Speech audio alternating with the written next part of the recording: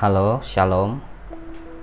Kali ini saya akan bersaksi tentang arti Natal buat saya secara pribadi. Beberapa tahun yang lalu saya mendapatkan arti Natal yang sangat berkesan yang sampai hari ini tetap saya jadikan tema Natal untuk saya pribadi.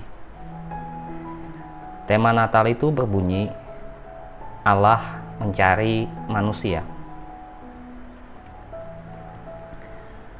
Dan kalau saya renungkan arti Natal itu, itu adalah arti Natal yang sangat dalam buat saya pribadi. Bukan saya yang mencari Allah, bukan saya yang berinisiatif, tapi Allah yang berinisiatif. Allah itu pencipta, kita manusia. Allah itu ada di surga, kita di dunia. Allah ada di atas, kita ada di bawah. Allah itu kuat, kita manusia jauh lebih lemah. Jadi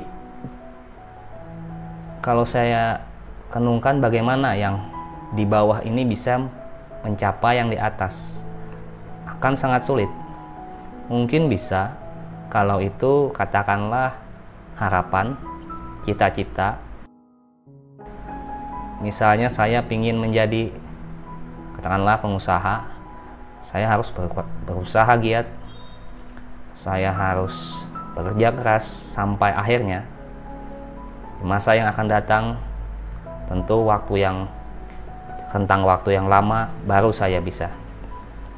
Tetapi yang saya mau gapai ini adalah Allah, bukan main-main.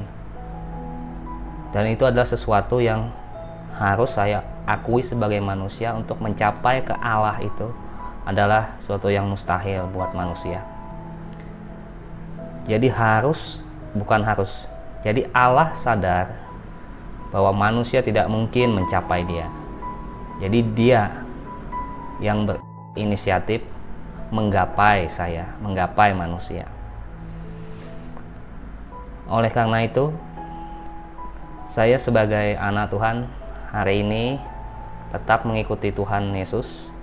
Saya sangat sangat mengucap syukur karena bukan saya yang memilih dia, tetapi dia yang memilih saya dan bukan hanya itu dia yang membuat saya sampai hari ini tetap setia dan keputusan untuk menerima ajakan juru selamat ini untuk mengikut dia adalah keputusan yang tidak pernah saya sesalkan. Bahkan kalau saya mau jujur, ini salah satu keputusan yang terbaik dalam hidup saya yang pernah saya buat. Di hari Natal ini, tanggal 25 Desember 2019, tema Natal ini masih berlaku dan sangat berlaku buat saya. Saya tidak tahu teman-teman arti Natal buat teman-teman apa. Saya rasa setiap orang punya makna Natal yang disimpannya di hati masing-masing. Saya tidak katakan bahwa tema ini adalah yang paling benar, tapi inilah yang buat saya pribadi yang paling mengena,